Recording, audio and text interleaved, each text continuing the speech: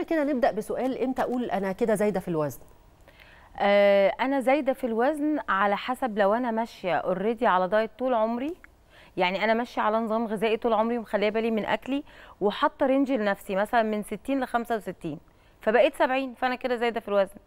لكن لو أنا عندي مشكلة صحية يعني مثلا عندي خشونة في المفاصل عندي مشكلة في رقبتي عندي مشكلة في ظهري عندي مشكلة صحية تتطلب مني إن أنا أبقى في weight معين أبقى 60 فما ينفعش أبقى 65 5 كيلو دول هيأثروا عليا شوف أنا بكلمك 60 70 بكلمك في أرقام already قليلة فهي على على حسب حسب آه الجسم. لا على على حسب الطول على. حسب. الحالة الصحية الوزن على- الصحية. الحالة على الصحية. آه. أنا زايدة أو لأ على حسب حالتي الصحية أنا في ناس بتجيلي وبثبتهم على 80 برغم إن 80 كيلو ده يعتبر رقم overweight مش هقول سمنة بس يعني وزن زيادة. بس هي مبسوطة كده تحاليلها زي الفل صحتها حلوة جدا شكلها حلو جدا هي راضية عن نفسها خلاص. تثبت مرضى الضغط 80 مثلا مرضى الضغط لازم يخسوا مثلا؟ مرضى من الأمراض الضغط لازم يظبطوا. أكلهم أكتر من إن هو يفكر إنه يخس. هي مش القصة إن أنا اخس طب ما أنا ممكن أبقى رفيعة وعندي ضغط. آه لا لا. يعني لما أفقد وزن أكتر ده بي يعني بيخلي بي بيظبط معدلات الضغط. آه اما. أفقد دهون كمان مم. أكتر من إن أنا أفقد مية. لأن كمان أغلب أدوية الضغط بتبقى هي حاجة اسمها water retention يعني بتنزل مية زيادة من الجسم فبيبقى النزول ممكن يبقى نزول مية أو نزول عضل وده إحنا بنسميه إن أنا كده خدت من صحتك. لما أنزلك مية وعضل يبقى أنا كده خدت من صحتك. لما أنزلك دهون يبقى أنا كده بحافظ على صحتك أو بظبط لك صحتك. طيب ده اللي فيه قياسات كتلة ال- الجسم. آه طبعاً ده بقى لو بتحددي حد- الوزن المثالي وإزاي بتقيسيها؟ على حسب بقى ال InBody على حسب لو أنت عندك مثلا لو أنت هتقفي على جهاز fat composition بيطلع لي تحليل للجسم كله. دلوقتي أجهزة يعني ما بيبقاش زي زمان كنا بنحسب الوزن والطول والعمر يعني حسبة كده رياضية.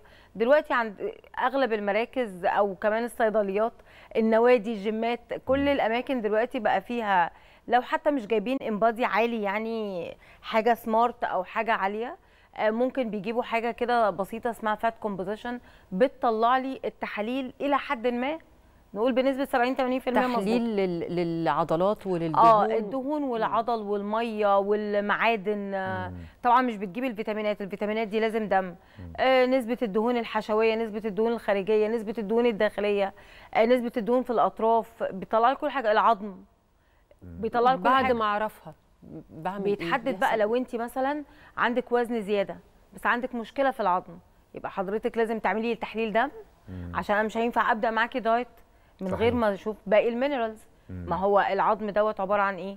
كالسيوم فيتامين د أملاح معدنية بوتاسيوم صح؟ فدي معادن. فلازم أعمل لك تحليل المعادن. لما أعمل لك تحليل المعادن أشوف إيه اللي واقع أظبطه في أكلي. لو الدنيا هتبقى مظبوطة معاكي تمام كأكل بس انت مش محتاجة supplement. أي حاجة يعني مكملات غذائية. مكملات. غذائية أو أي حاجة. من بره. طب لو الأكل لوحده مش كفاية انت نازلة من النسب لا حاجة محترم نازلة يعني ده قبل ما تجيلي طبعا مش اللي أنا بقولك عليه ده في ناس بتعمل diet مع نفسها بتوصل لحاجه اسمها malnutrition يعني سوء تغذية صحيح. وبتبقى تخينة على فكرة. يعني مش شرط إنها شرط. تكون رفيعة أو انت شايفاني عندي نحافة أو رفيعة قوي عشان يبقى عندي سوء تغذية. ممكن أكون رفيعة بس المعادن بتاعتي مظبوطة تحاليلي تمام صحتي كويسة جدا. بس عيلتي كلها رفيعين فأنا رفيعة أنا واخدة جين. جين.